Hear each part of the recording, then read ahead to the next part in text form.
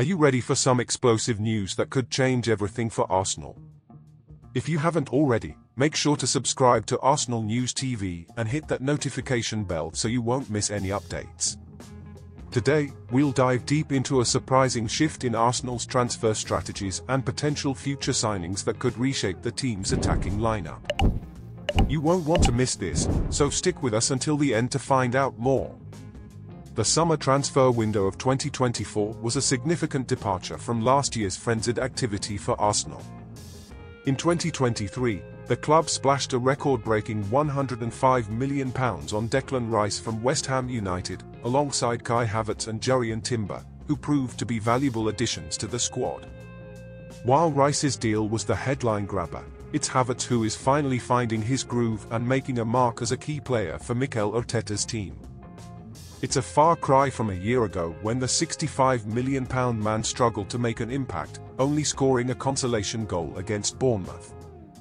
Now, Havertz is stepping up when it matters most, having netted crucial goals against top teams, including opening the scoring against PSG in the Champions League just last week.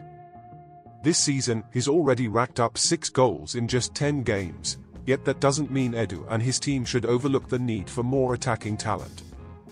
Over the summer, all eyes were on a specific target in the forward positions, Benjamin Sesko. Rumours swirled that Arsenal would be battling Chelsea for his signature, but ultimately, a deal fell through as Sesko committed to a new contract with RB Leipzig. However, recent reports suggest that there's still a chance for Arsenal to revisit this signing in the next transfer window. According to Charles Watts, a well-respected journalist speaking with Caught Offside, despite not securing the player this summer, substantial groundwork was laid, and the relationship remains intact. Watts mentioned that Arsenal might be on the lookout for another attacker at the end of the season and hinted that Sesko shouldn't be completely ruled out. Fast forward to 2024, and Havertz has undergone a remarkable transformation, now thriving as a central striker. A year ago, his role was unclear. He could function as a false nine or as a number 10, but his best position remained a mystery. Enter Arteta, who is crafting the German international into one of the most dangerous attackers in the game. With 20 goal involvements in 20 matches, 12 goals and 8 assists, he's proving to be a prolific contributor, averaging a goal or assist every 83 minutes, a record that speaks volumes about his impact. Now, how does Sesko compare? Remarkably, he's even outshining Havertz.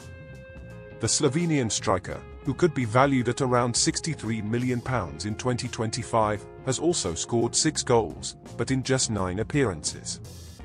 His recent performances, including a dazzling brace against Juventus in the Champions League, showcase his incredible ability.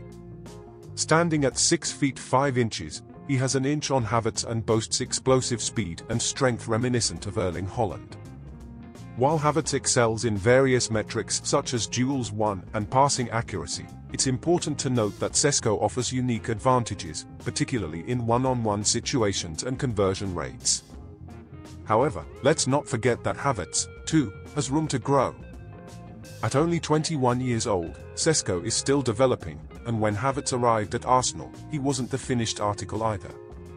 With all these dynamics in play, could Sesko be the perfect complement to Havertz's style?